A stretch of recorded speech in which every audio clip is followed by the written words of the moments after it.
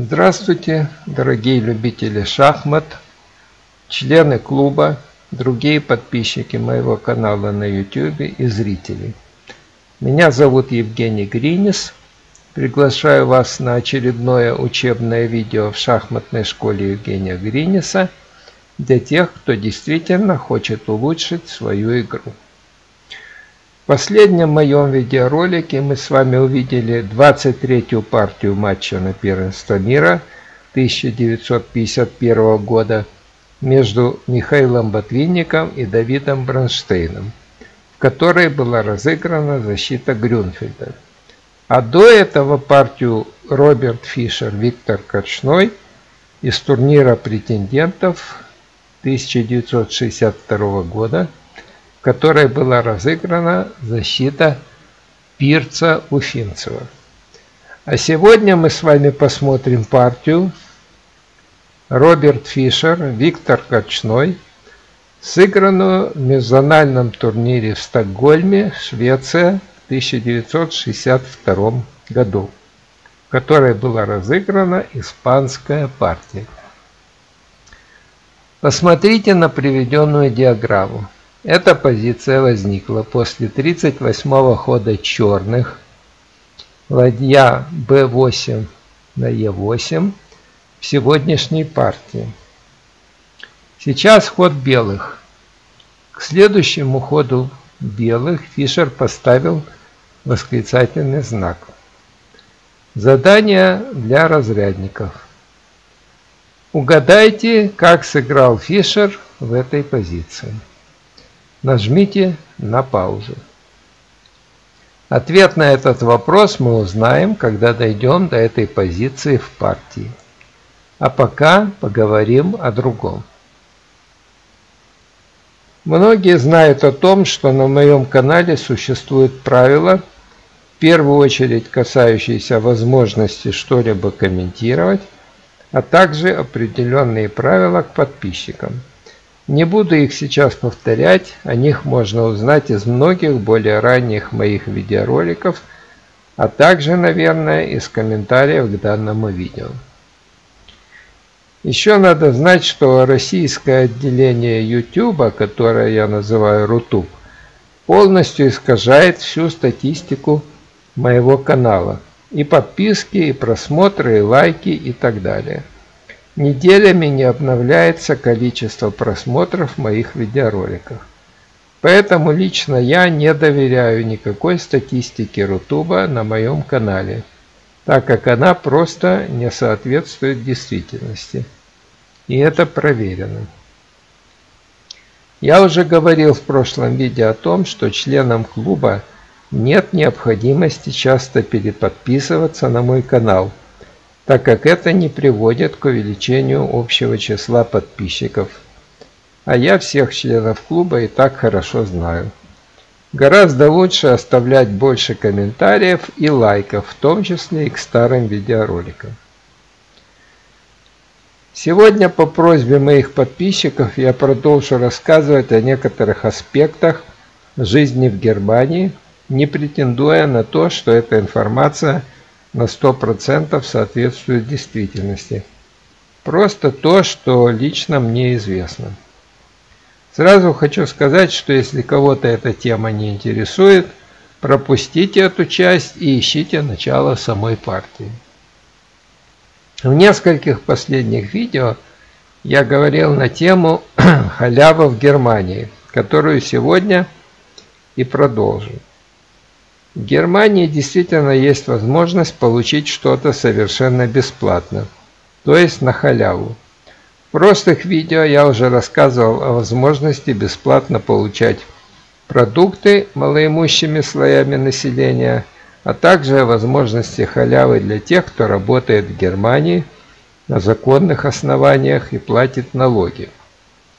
Сегодня я расскажу о халяве для всех – в Германии есть такое явление, которое называется по-немецки шпермюль, но все русские называют его шпильмюль. Примерно раз в месяц в определенные заранее установленные дни в каком-то районе города жители могут выносить ненужные им вещи из дома и оставлять их на улице. Это обычно происходит вечером, а на следующее утро приезжает специальная машина или машины и увозят весь шпильнуль в неизвестном направлении. Таким образом, по всему району у разных домов образуются кучки из разных вещей. Часто это бывают предметы мебели или разная домашняя утварь, предметы электроники, детские игрушки и всякая всячина. Ну и, конечно, люди выискивают себе то, что им может пригодиться. Многие ездят с этой целью на велосипедах, Э, чтобы быстрее охватить побольше точек. Но есть еще и профессионалы. Они знают расписание э, всех шпильнулей в разных районах города, приезжают на машинах или микроавтобусах и собирают самое им нужное, что они потом как-то реализуют. Возможно, даже за границей. Так что простому человеку сложнее – но иной раз может и повести. Ну и еще об одном виде халявы для всех. В моем городе в разных местах, в том числе и на нашей улице, установлены такие общественные стеклянные шкафы с книгами. Книги приносят сами люди и оставляют просто в таких шкафах, чтобы все могли выбрать себе, что почитать. Конечно, большинство книг на немецком языке, какая-то часть на английском. Редко попадались книги на русском и совсем уж редко попадались шахматные книги. Но в целом всегда можно прийти и выбрать себе то, что тебя интересует, так как книги есть совершенно разных жанров. Кто-то приносит детективы, кто-то триллеры – кто-то фантастику, кто-то романы, кто-то литературу по компьютерам. Бывают книги в очень, в очень хорошем состоянии, практически новые, но и тут появляются профессионалы на велосипедах. Они выбирают именно новые книги, чтобы потом их где-то реализовывать. Раньше я был записан в библиотеку, там надо было возвращать книги к какому-то определенному сроку. Но после появления у нас общественного книжного шкафа несколько лет тому назад, необходимость библиотеки для меня отпала.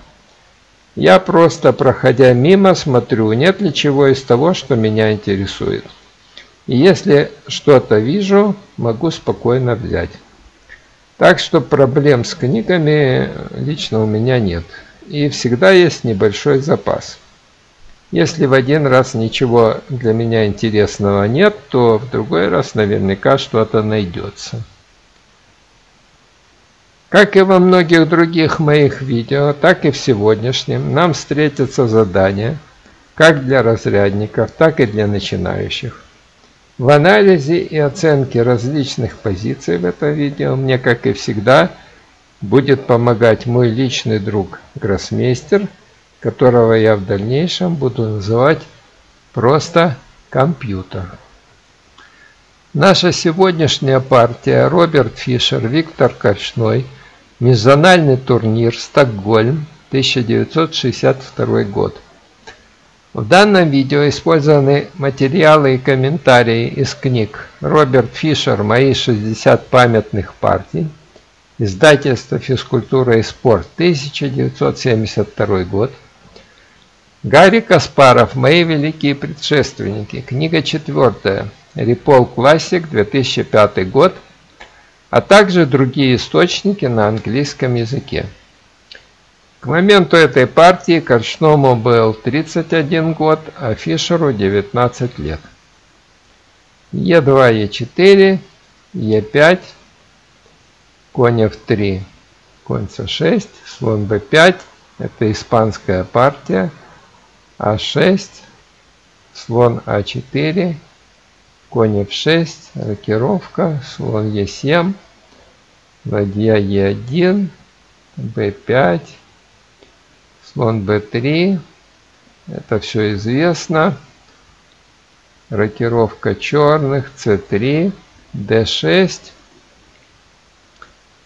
И здесь Фишер сыграл d2, d4.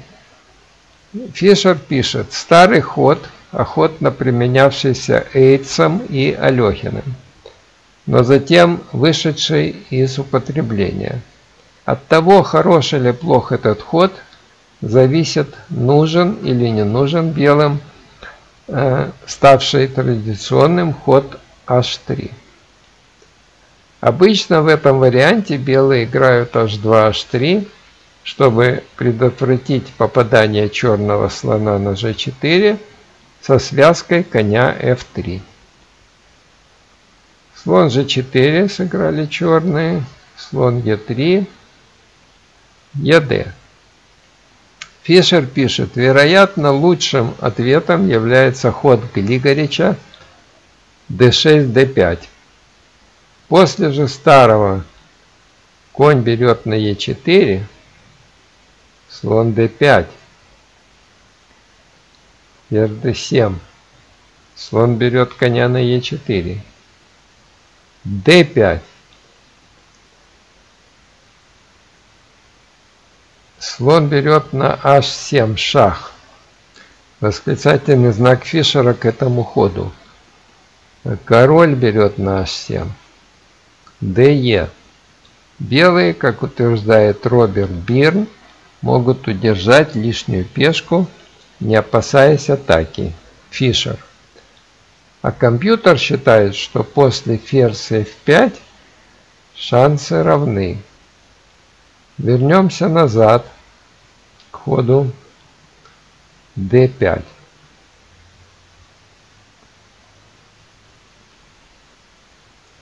В этой позиции компьютер предпочел бы ход слон c2 в дальнейшем Е4, конь Б на Д2,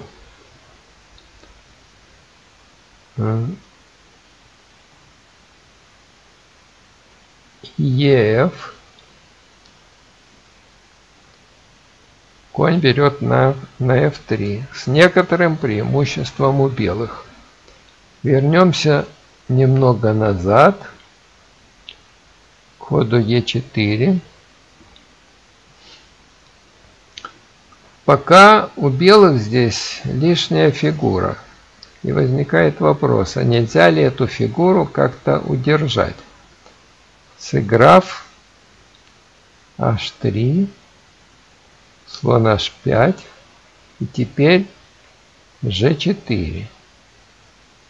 Если слон уйдет, то и конь уйдет. Задание для разрядников. Как ответят черные на эту попытку белых сохранить лишнюю фигуру?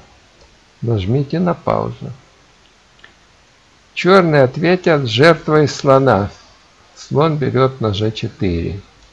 И если hg, то ферзь берет на g4, шах, король h2, ef грозит мат на поле g2. Если белые сыграют ладья g1, то задание для начинающих. Во сколько ходов черные могут поставить мат белому королю? Нажмите на паузу. Черные могут поставить мат в один ход. Ферзь, h4, мат. Возвращаемся к партии.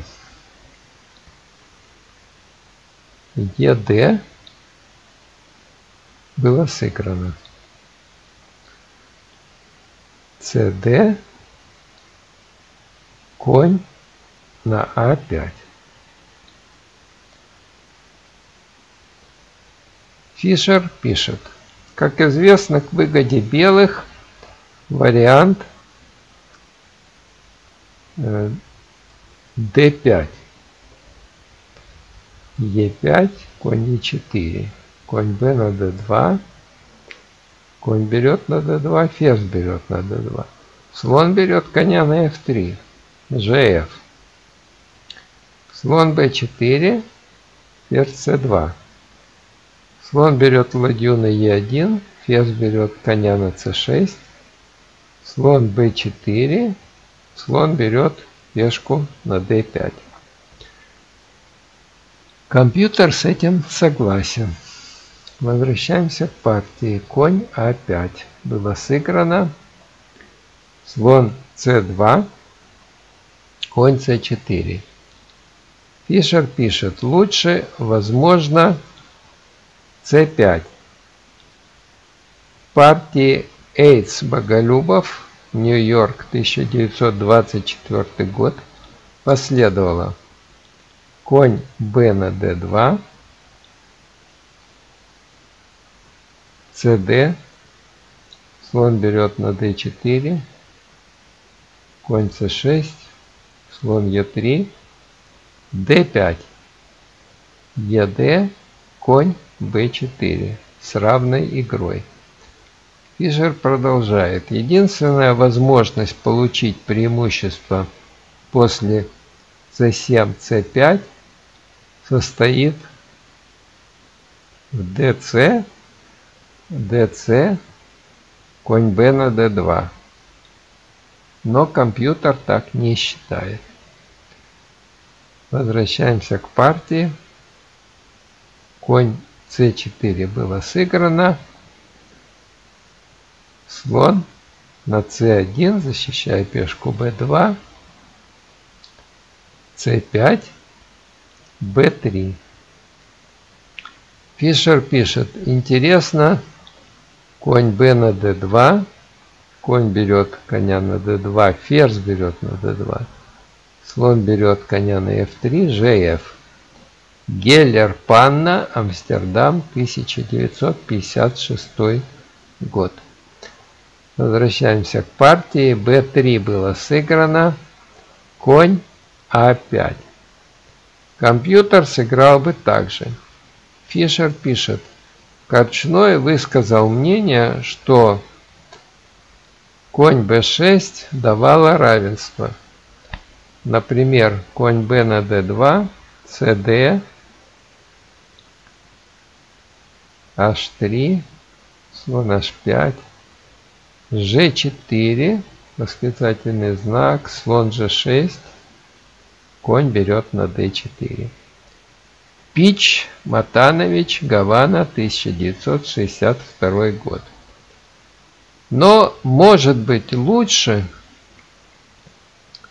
конь f на d7. h3, слон h5, g4, слон g6, d5, слон f6, ладья b1, h5. Пич Саба, 1962 год. Компьютер считает, что в обоих вариантах шансы черных не хуже. Возвращаемся к партии. Конь А5 было сыграно. И Фишер ответил в этой позиции D5. Восклицательный знак Фишера к этому ходу книге Фишера «Мои 60 памятных партий» к данной партии использованы комментарии Корчнова. Корчной пишет значительно сильнее, чем слон b2, конь c6, d5, конь b4, как было в партии Капабланка-Боголюбов, Лондон, 1922 год в которой черным удалось получить преимущество двух слонов.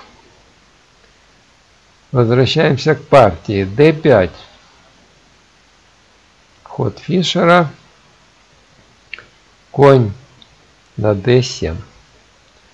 Фишер пишет, большое преимущество могли получить белые после конь берет на e4, ладья берет на e4, Слон берет на f3, ферзь берет на f3, слон f6. Задание для всех. Как белым предотвратить потерю ладьи А1 в этой позиции? Нажмите на паузу. У белых есть ход конь c3. Но черные играют b4.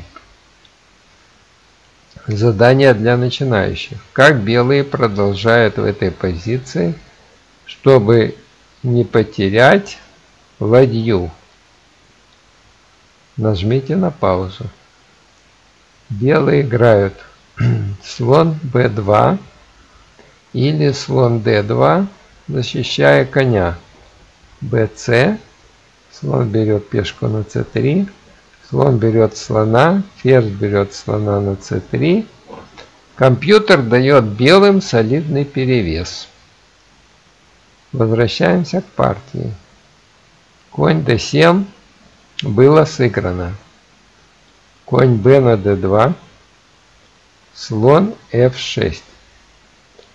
Фишер пишет, Качной э, стремится овладеть черными полями, прежде чем белые успеют мобилизовать свои фигуры для наступления. Ладья b1, c4. Фишер пишет, Качной считает, что в этот момент он переусердствовал и создал себе много слабых пешек. Согласно его анализу, черным следовало играть конь Е5, H3, конь берет на F3 шаг, конь берет на F3, слон берет коня, ферзь берет слона, B4. Фишер продолжает. Тем не менее, после слон F4, ладья E8, ферзь G3, Слон Е5, слон берет слона, ладья берет слона на Е5, F4, ладья Е7, ладья Б на D1. Белые, угрожая Е4, Е5, сохраняли давление. Компьютер с этим согласен. Возвращаемся к партии. С4 было сыграно H3. Коршной пишет, белые не попадаются на вариант B4, C3, восклицательный знак, BA, CD, слон берет на D2, конь E5 с последующим разрушением пешечного прикрытия белого короля, которое с лихвой компенсирует черным недостающую сдвоенную пешку. А вот компьютер дает белым в этой позиции преимущество после точного хода А2, А4. Возвращаемся к партии. H3 было сыграно. Слон взял коня на F3. Корчной пишет – оставляя белым двух слонов. Однако на слон h5 сильно было теперь b4. c3 ba cd слон берет на d2 конь e5 g4 с преимуществом у белых, корчной. Фишер пишет, в этом варианте простое конь b7 и затем а6 опять дало бы черным хорошую контр-игру. На слон g4 h5 я собирался ответить g4. Ради умершления белопольного слона черных можно пойти на такое ослабление. Слон g6, конь f1 и так далее. Возвращаемся к партии. Слон берет на f3, было сыграно, конь взял слона на f3, cb. Фишер пишет, плохо было ладья e8 введу b4, конь b7, конь d4.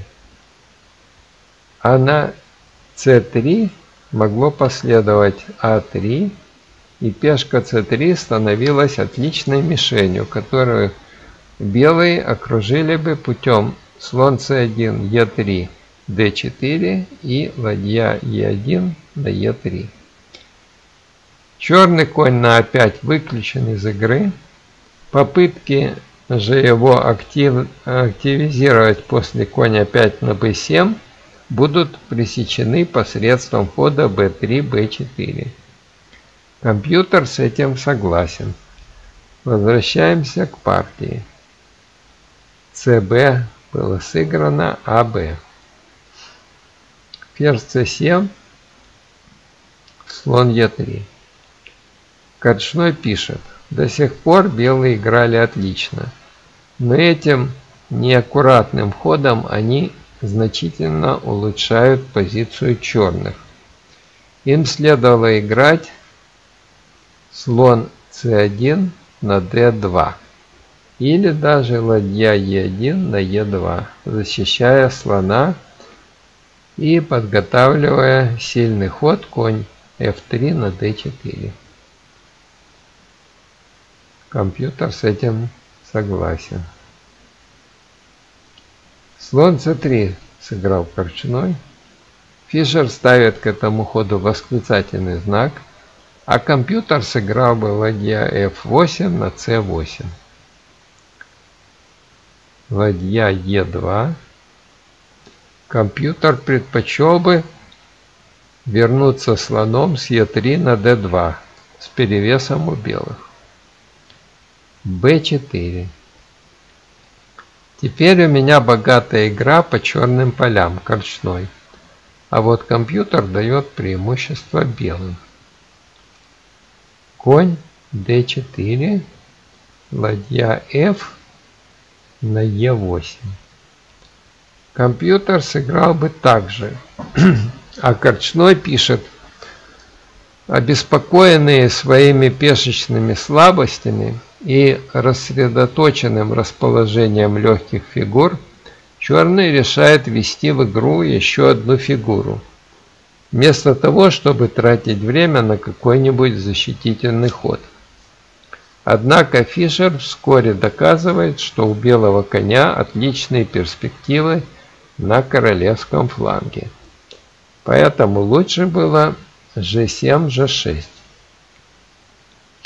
Фишер пишет, после g6, слон d3, конь c5, ладья c2, конь а на b7, конь e2, слон g7, белые ничего не получали. Возвращаемся к партии. Ладья f на e8 было сыграно. Белые сыграли конь на f5. Конь b7. Слон d4. Угрожает, конь f5 берет пешку на g7. g6, конь h6, шах, король f8. Ладья c1. Этот мощный ход напоминает черным об опасностях, которые сулит им линия С и ненадежное положение их короля, корчной. Ладья А на С8. Компьютер ставит к этому ходу вопросительный знак, а корчной пишет. Предвидении предстоящего размена слонов черные хотят подготовиться взятию на c3 фигурой, ферзем или ладьей, а не пешкой, которая может оказаться роковой слабостью. Компьютер сыграл бы слон берет на d4.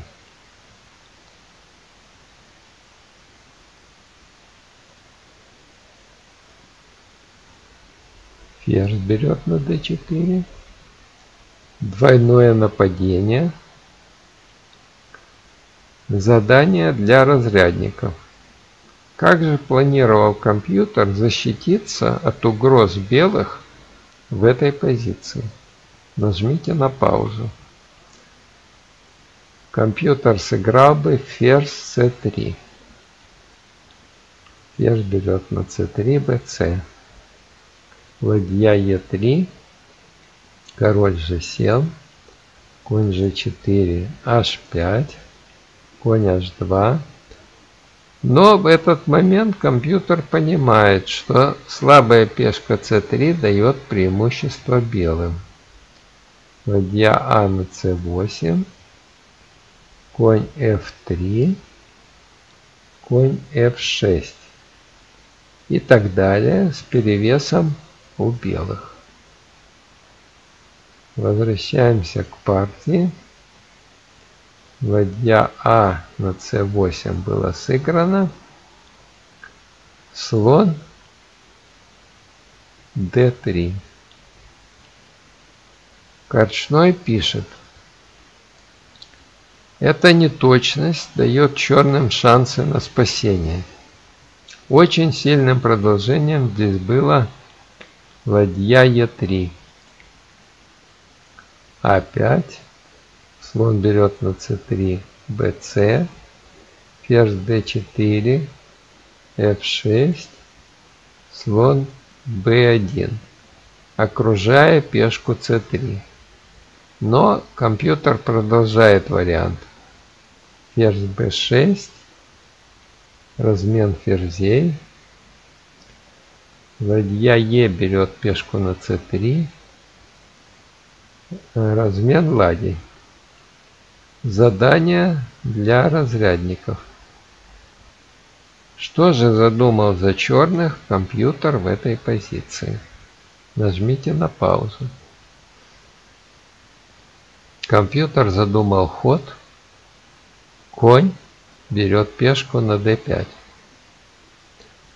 Задание для начинающих. Зачем черные отдают коня в этой позиции? Что они имеют в виду? Нажмите на паузу.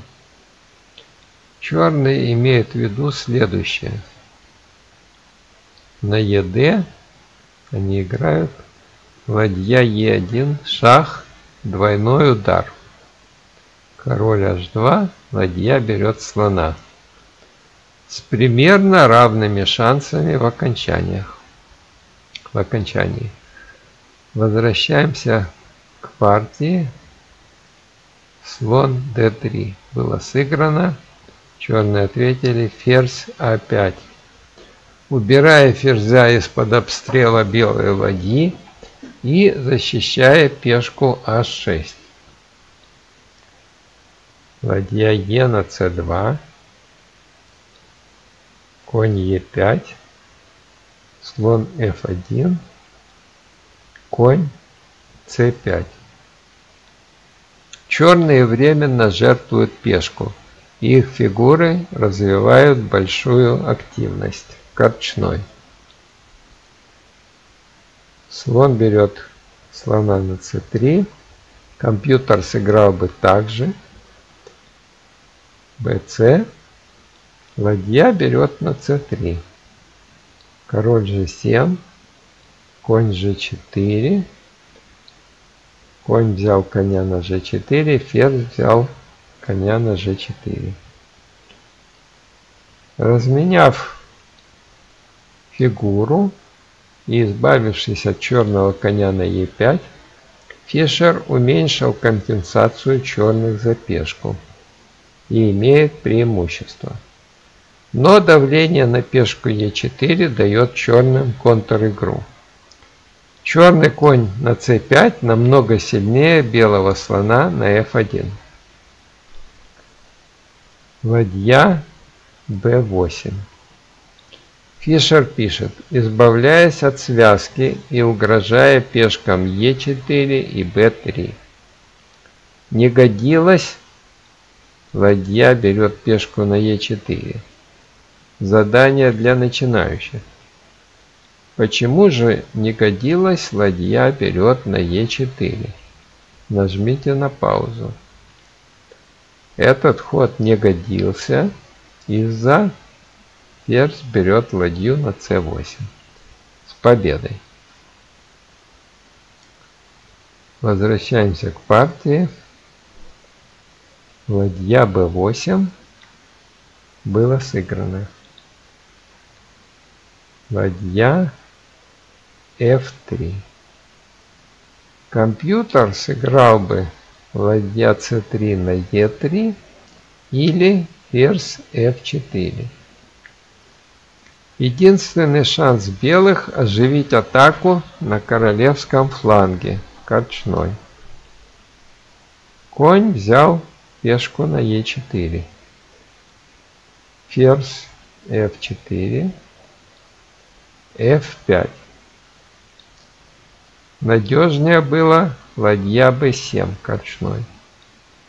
Черные ослабляют позицию своего короля, но белые не могут это использовать. Фишер.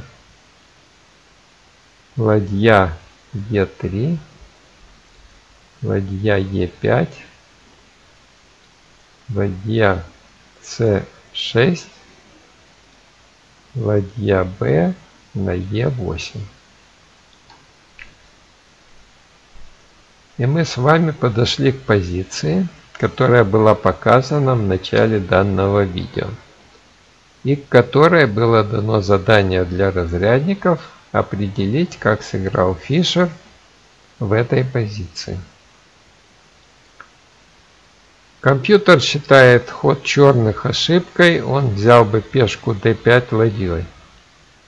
А Корчной пишет – Имея мало времени, я просмотрел ответ белых. Хотя этот ход и неплох, но из практических соображений черным следовало избрать простое g6, g5, избегая риска и сохраняя хорошую позицию. Фишер пишет, после g5, ферзь f3, ладья b на e8, ладья берет пешку на a6, ферзь берет на d5, b4, шансы были бы примерно равны. Возвращаемся к партии. Ладья b на e8 было сыграно. Партии. И Фишер ответил – Ладья берет пешку на d6. Восклицательный знак. Но Корчной не просмотрел связку коня d4. А он просмотрел вилку в конце комбинации в одном из вариантов. Ферзь А1. Корчной пишет. Ужасная ошибка, в результате которой черные теряют две пешки без всякой компенсации. Правильно и необходимо было g5. Ладья d7 шах, король g6, ферзь f3, ферзь b6 с угрозой конь Е4 берет на F2. Например, слон D3. Конь берет на F2. Ладья берет на E5. Конь берет на D3 шах с выигрышем. Или G4 Конь берет на f2, ладья берет ладью на e5, конь берет на g4 шах с перевесом у черных. Или ладья берет на, на e4, лучшая корчной. Ладья берет на e4, g4, ладья f4, gf, король h6, ферзь g3, ладья e5. И у черных, по крайней мере, ничья. Вместо этого черные, взволнованные неожиданным поворотом событий, ударились в панику, и Фишер эффектно заканчивает партию в несколько ходов. Корчной. Фишер пишет, между прочим, Корчной забывает добавить, что после ферзь b6 черные имели бы еще одну угрозу. Конь f6, вылавливая ладью d7. В своем анализе он также проходит мимо возможности верной защиты путем ферзь e2. Конь берет на f2. А что еще, спрашивает Фишер. Проигрывает f4 ввиду ладья берет на e4, ладья берет ладью, ферзь c2, король h6, ладья c7, восклицательный знак, с выигрышем. Вернемся назад. Конь берет на f2, ладья берет на e5,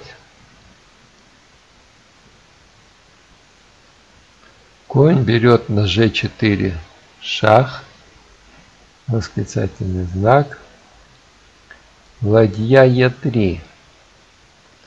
Ладья берет на e3. Ферзь берет на а6. Ферзь берет на а6, слон берет на а6. Конь f6. Ладья d8. Ладья берет на b3 с равенством. А конь берет на h3 шаг, проигрывает после король h2, ферзь g1 шаг, король g3. Задание для начинающих. Как черные выигрывают э, в случае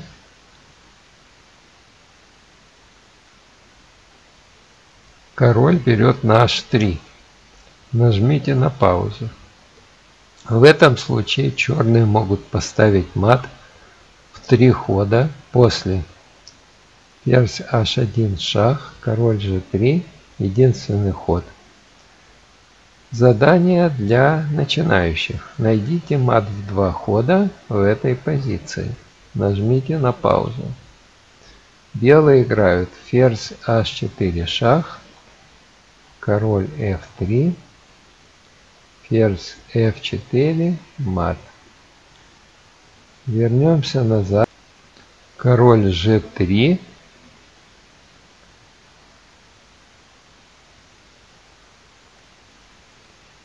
f4.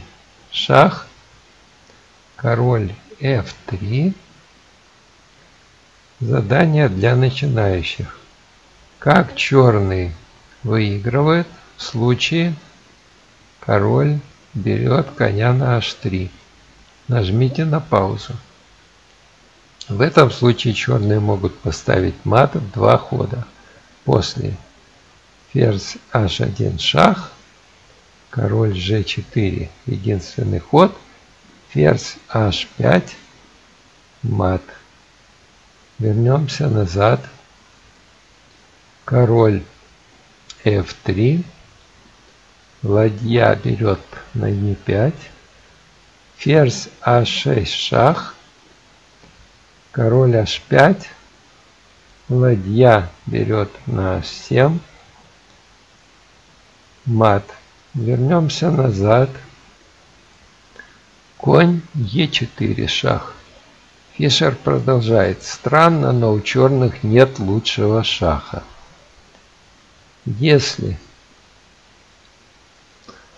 если мы уже посмотрели, после конь e4 белые отвечают король h2, ладья берет на e5, ферзь берет пешку на a6, размен ферзей, Конь f6 с вероятной ничьей Фишер. Вот эту заключительную вилку мог просмотреть Корчной. Черные отыгрывали пешку d5. Итак, Фишер в целом согласен с Корчным, что и при лучшей игре белых черные добивались ничьей. Осталось еще узнать мнение компьютера главной позиции после ферзь b6.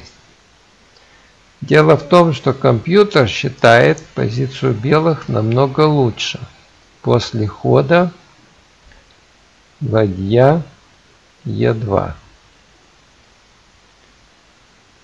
Конь F6. Ладья С2.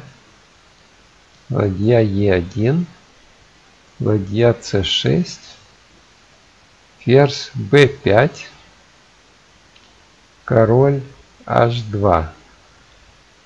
Компьютеру кажется, что белые должны выиграть. Ферзь берет на f1. А может быть черный? Ладья берет коня на f6 шах. Король берет на f6. Другого нет. Ферзь c3 шах. Ладья 8 на e5. Ферзь c6 шах. Ладья e6. Единственный ход – ДЕ. Сильнейший ход за белых. Ферзь H1 шах. Король G3. Кто же здесь выигрывает? Ладья C1. Сильнейший ход. Ферзь F3. Сильнейший ответ. Король G6. Восклицательный знак. Ладья F7. Ладья C5. Ферзь D3.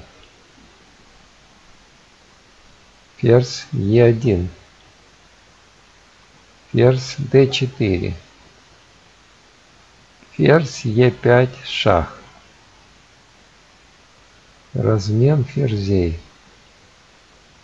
Ладья Е7 защищает пешку. Ладья Б5 с равным эншпилем.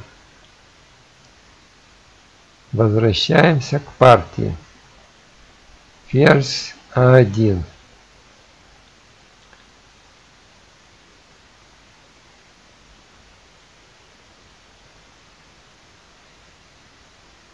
Было сыграно. Фишер ответил, ладья берет пешку на А6. Корчному оставалось сделать лишь один ход до контроля времени, но его позиция уже проиграна. Ферзь d4, ладья d3, ферзь b2, d6, g5, ферзь e3, f4, ферзь А7, шах. Черные сдались. Фишер пишет, еще могло последовать король f8, d7, ладья d8, ферзь b6, король e7, Ферзь берет на d8, шах. Король берет на d8, ладья а8, шах. Король e7, d8, ферзь, шах с выигрышем белых. В книге Фишера «Мои 60 памятных партий» Все предисловия к партиям написаны другом Фишера, гроссмейстером Ларри Эвансон. Эванс пишет. Я люблю заманивать своих противников давая им возможность испытать радость инициативы так, чтобы они увлеклись, забылись и пожертвовали материал, писал Корчной. Фишер не нуждается в том, чтобы его заманивали. Он находит усиление D4, D5 в хорошо известном варианте, применявшемся капобланкой. И все же он добивается лишь микроскопического перевеса. Корчной, кажется, находится в заблуждении, считая, что его дела очень плохи. Фишер же утверждает, что у белых ничего нет. Вскоре Фишер делает ошибку, и Корчной пользуется возможностью перехватить инициативу. Но и он ошибается, и, испытывая недостаток времени, терпит фиаско. Гарри Каспаров пишет. Наступает новый цикл розыгрыша первенства мира. И уже на межзональном турнире в Стокгольме Фишер блестяще демонстрирует, насколько он вырос со времени дебюта в Портороже. Как раз ко дню своего 19-летия Бобби преподнес себе э, прекрасный подарок. Первое место Фишер – 17,5 из 22. Второе, третье – Геллер и Петросян по 15. Четвертое, пятое – Горчной и Филипп по 14 и так далее.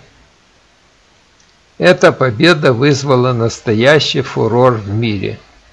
Наконец-то на Западе, писала одна из газет, появился шахматист, который пробил магический круг русских гроссмейстеров, выиграв крупный международный турнир. Руководитель советской делегации Абрамов писал – Успех Фишера в Стокгольме производит большое впечатление. Здесь и процент набранных очков 80%. И отрыв от ближайших соперников 2,5 очка.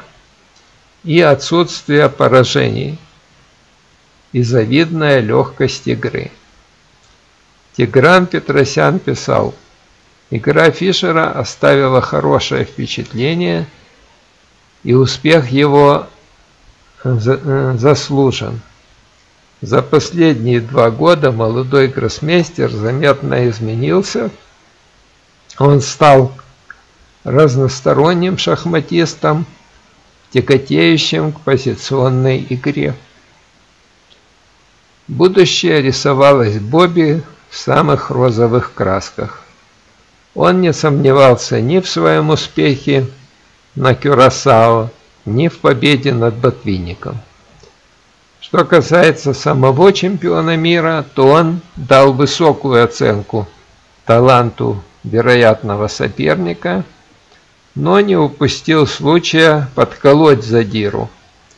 Пока Фишер не так страшен, как он сам себя малюет. Итак, в этом видеоролике мы с вами увидели партию Роберт Фишер Виктор Качной, сыгранную в межзональном турнире в Стокгольме, Швеция, в 1962 году, которой была разыграна испанская партия. Я надеюсь, что видео вам понравилось и было для вас полезным. Если это так, ставьте лайки и нажимайте на рекламу и поддерживайте мой канал финансово по ссылкам в описании. Подписывайтесь на канал, нажимайте колокольчик, чтобы получать извещения о выходе новых видеороликов, выполняйте все правила клуба и после этого оставляйте комментарии. До свидания, до новых встреч!